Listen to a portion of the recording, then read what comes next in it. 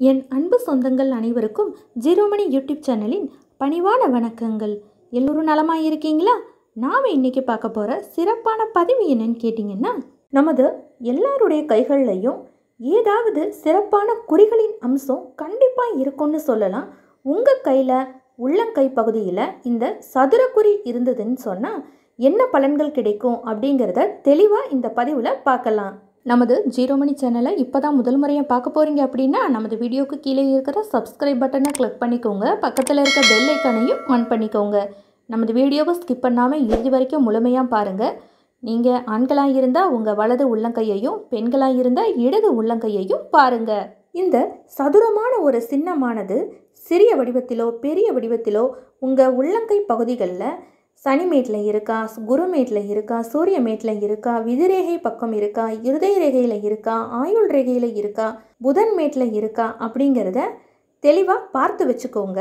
மிக முக்கியமான தகவல் இந்த சதுரமான ஒரு சின்னம் உங்கள் உள்ளங்கையில் எந்த இடத்துல இருந்தாலும் மிக மிக சிறப்பானதுன்னே சொல்லலாம். இது ஒரு நல்ல குறின்னு கூட சொல்லலாம்.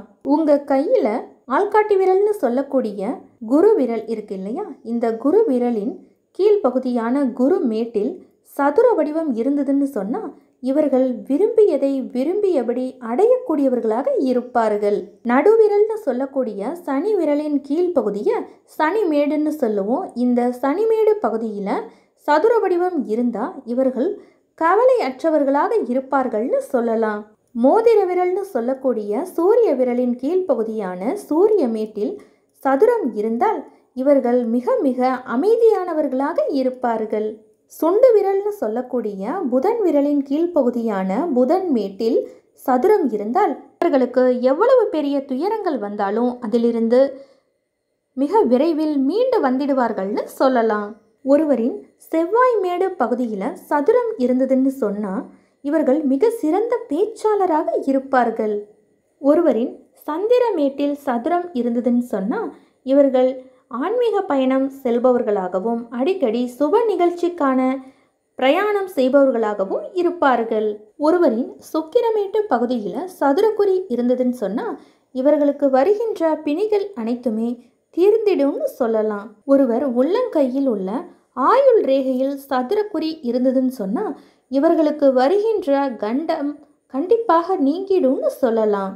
ஒருவரின் இருதய ரேகையில் சதுரக்குறி இருந்ததுன்னு சொன்னால் இவர்களுக்கு ஏற்படுகின்ற இதய நோய் அனைத்துமே நீங்கிவிடும்னு சொல்லலாம். ஒருவரின் விதி ரேகையில் சதுரக்குறி இருந்ததுன்னு சொன்னால் இவர்களுக்கு தொழிலில் பிரச்சனைகள் ஏற்பட்டாலும் அந்த பிரச்சனைகளும் இவர்களுக்கு சாதகமாகவே அமையும்னு சொல்லலாம்.